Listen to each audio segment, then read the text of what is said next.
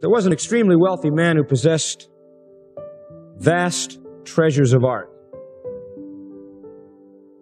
The man had one son who was a very ordinary boy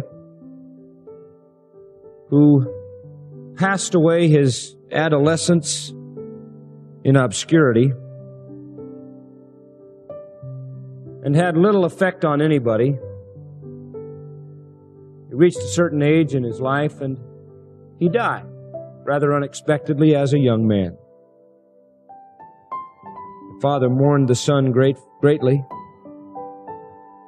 Within a few months after the death of his son, the father died as well. And he left this incredible wealth bound up in art treasures.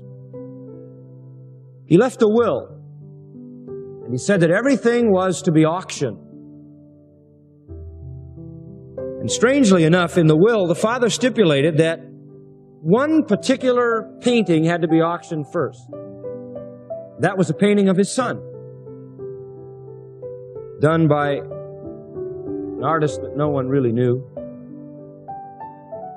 And so the auctioneer, in accord with the will, did exactly what was to be done. And first of all, to the large crowd that had assembled, he directed their attention to this painting of the rather obscure son of the wealthy man and started the bidding there.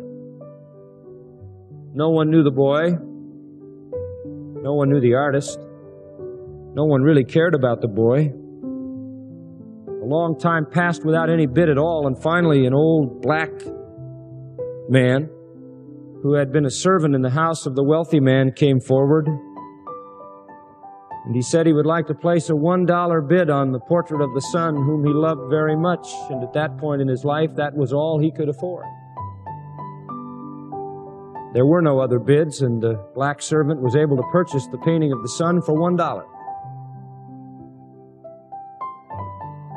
Then the dramatic moment came as he read the next portion of the will. It said this All the rest of the treasure shall go to the one who loved my son long enough and strong enough to purchase his portrait.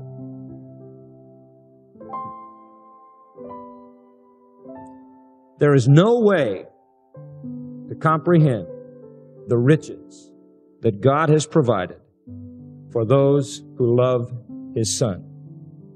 No way. They are infinite.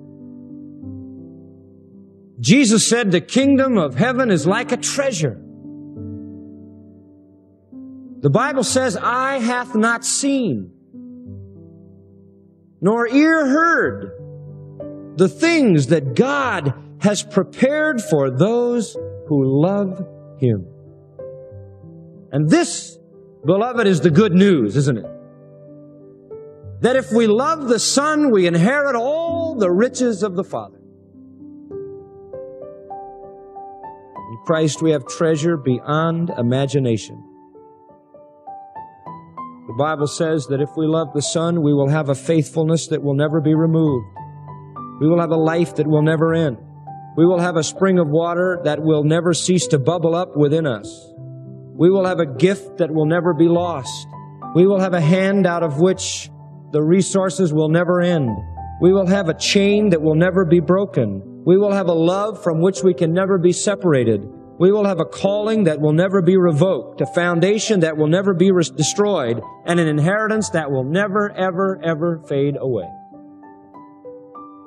Now, this is the good news.